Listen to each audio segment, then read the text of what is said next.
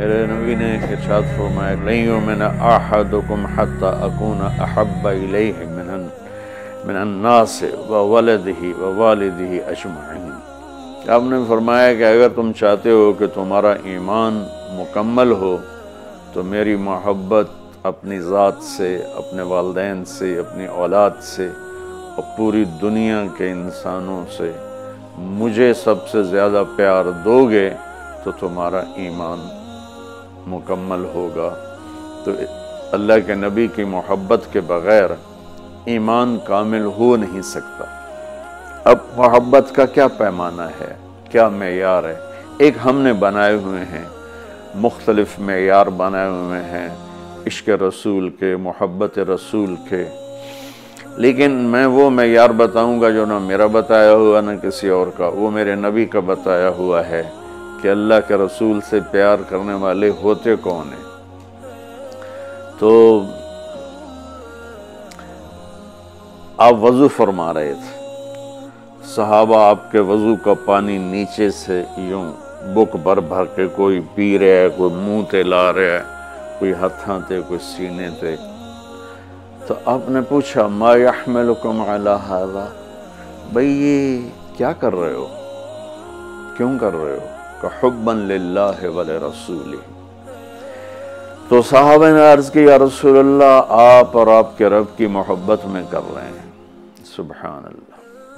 تو ہم نے فرمایا کہ میں تمہیں بتاتا ہوں کہ مجھ سے محبت کرنے والا اور اللہ سے محبت کرنے والا کون ہے؟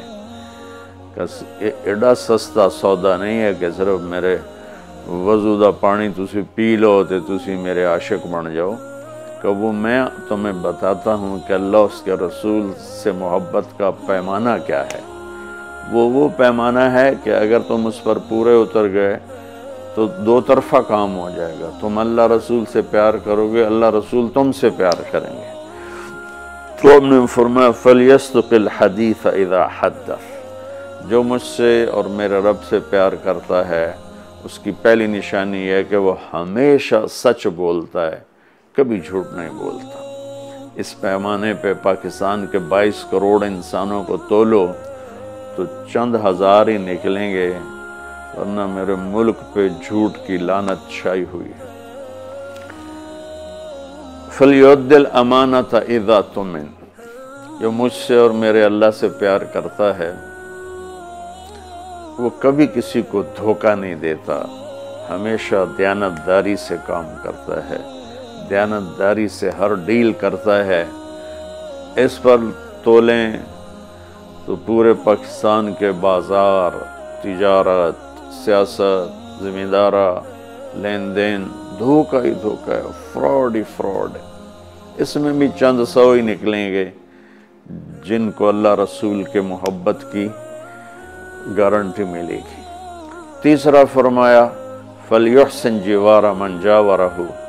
جو اللہ اس کے رسول سے پیار کرتا ہے، وہ ہمیشہ پڑوسیوں کے ساتھ اچھا سلوک کرتا ہے۔ چاہے وہ مسلم ہوں نان مسلم ہوں، چاہے وہ اپنے ہوں، غیر ہوں، اچھے لگتے ہوں، برے لگتے ہوں، وہ ہمیں برا سمجھتے ہوں۔ لیکن اللہ اس کے رسول سے پیار کرنے والے کی تیسری نشانی یہ ہے۔ کہ وہ اپنے پڑوسیوں کے ساتھ اچھا سلوک کرتا ہے۔ یک طرفہ وہ تا کر دے نہیں اسی کیوں کریے؟ انہوں سانو کدی سلام نہیں کیتا اسی کیوں سلام کریے؟ وہ سانو کدی پچھڑ نہیں آئے اسی کیوں پچھڑ جائیے یہ عشق رسول کے دعوے دار تو ہو سکتے ہیں۔ اللہ کی بارگاہ میں ان کی کوئی گارنٹی نہیں ہے، یہ خارج ہیں۔ اور یہ بھی ہمارا سارا معاشرہ میں دیکھتا ہوں تو انتقامی معاشرہ ہے۔ ہمارے ہمارے علاقے کی مثال ہے جی قدمہ دے قدم ان دن۔ کیا مطلب کہ جو ہمیں پوچھنے آئے گا، ہم بھی پوچھنے جائیں گے۔ جو ہمیں سلام کرے گا، ہم بھی سلام کریں گے۔ جو نہیں کرے گا تو ایسا کیوں کریے؟ یہ میرے ملک کے اخلاق یہ ہیں۔ اور میرے نبی فرما رہے ہیں کہ مجھ سے محبت کی تیسری نشانی یہ ہے کہ وہ یک طرفہ ہو کر اپنے پڑوسیوں کے ساتھ